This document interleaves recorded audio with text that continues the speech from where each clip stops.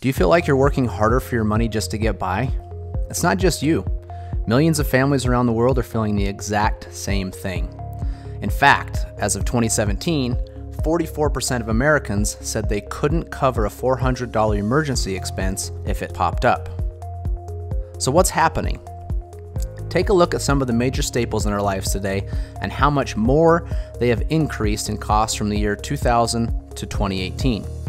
Water and sewage up 133%, car insurance up 97, and the list goes on. This isn't even counting the 2021 inflation numbers that are the highest since 1982. We're all feeling it, but why is it happening? It's not that things are necessarily costing more to make or service, it's that the fiat currency used to buy the goods is becoming worth less. As you can see, when the Federal Reserve was created in 1913, a dollar was worth, well, a dollar. Because of some government decisions such as going off of the gold standard and increased money printing, the purchasing power over time was dropped to less than 5 cents on the dollar compared to 1913. Now, this isn't anything new, unfortunately. There's a long list of countries where this exact same thing has happened, including Germany, Argentina, Zimbabwe, and most recently Venezuela. In each case, they have attempted to print themselves out of their version of a financial crisis. The playbook is being passed around the world, and the result is always the same. If you look at the M1 currency supply chart, it will give you a good indication of what result we could be headed for in the United States. The M1 currency supply is just a way of showing how much printed money is in the hands of the citizens in a country. It is a direct link to the printing of fiat currency.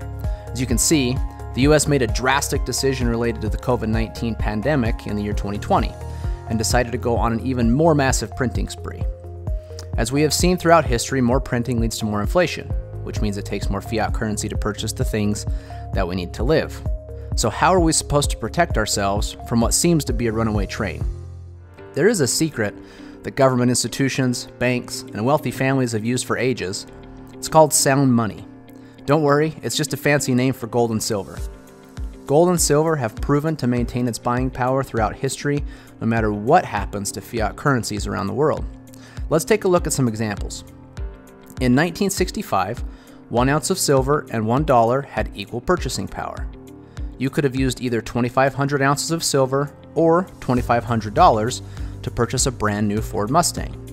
If you would have had the same 2,500 ounces of silver in 2020, you could have purchased two brand new Mustangs but $2,500 could barely even cover the down payment to get one. The same is proven true in the housing market. The average home cost in 2001 was $169,000, or 626 ounces of gold. In 2021, you could have taken less gold and purchased three homes, even though the average home cost in dollars almost doubled. The list goes on and on and shows how gold and silver is one of the best ways to play defense against fiat currencies that always decrease in value over time. There are usually a couple things that happen though when individuals find out about the value of sound money. First, questions. What should I buy? Who should I trust? How much does it take to get started? And do I need to be an expert to win? The second thing that happens is a discovery of things like mixed advice on what to buy, scammers, high minimums, and people selling inventory they don't actually have, and much, much more, which all cause more questions and a general mistrust, leading them to never ever get started. Maybe this sounds familiar, but we believe things just shouldn't be that hard. We believe that every family deserves a real chance to get ahead of the game not only now, but forever. Really, our goal is to help you get started on a path that will help you create a true legacy for generations to come. So, who are we? We are 7K a community of people on a mission to help each other create financial independence, preserve wealth, and create an exceptional life through both good and bad economic times.